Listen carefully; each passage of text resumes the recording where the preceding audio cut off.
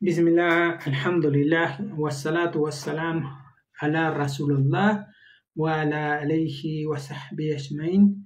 En nombre de Allah y todas las alabanzas pertenecen a Allah. Que la paz y bendiciones de Allah sean con su profeta y mensajero Muhammad, su familia, sus compañeros y todos aquellos que sigan su guía hasta el último día. Amén. Narró Ali que al esté complacido con él Mientras estábamos en un cortejo fúnebre en Baki el-Garat, el mensajero de Allah, paz y bendiciones de sean con él, vino y se sentó, y nos sentamos a su alrededor. Tenía un pequeño palo en su mano y agachó la cabeza y empezó a raspar el suelo con él. Luego dijo, no hay nadie entre vosotros, ni un alma creada, que no tenga su lugar escrito, ya sea en el paraíso o en el fuego del infierno y también tiene escrito para él su destino feliz o miserable, es decir, en el más allá. Un hombre dijo, oh mensajero de Allah, ¿debemos depender de lo que está escrito para nosotros y renunciar a hacer buenas obras?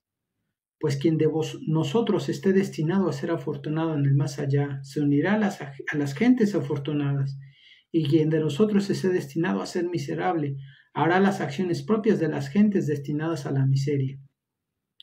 El profeta, paz y bendiciones de Allah sean con él, dijo, a quienes estén destinados a ser felices en el más allá, les resultará fácil y placentero realizar las acciones características de quienes están destinados a la felicidad, mientras que a quienes vayan a estar entre los miserables en el más allá, les resultará fácil realizar las acciones características de quienes están destinados a la miseria. Y luego recitó los versículos de Sura, sura 92, Al-Layl, فأما من أتى واتقى وصدق en cuanto a quien da en caridad y cumple con su deber hacia Allah y cree en la mejor recompensa de Allah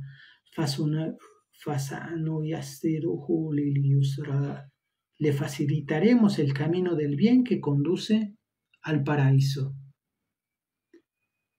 Y añado, esta parte ya no viene en el hadith, pero es la continuación de la sura, del capítulo. Dice Allah en el siguiente versículo, mas quien sea avaro y se crea autosuficiente y niegue lo, lo más sublime, le facilitaremos el camino del mal que conduce al fuego del infierno.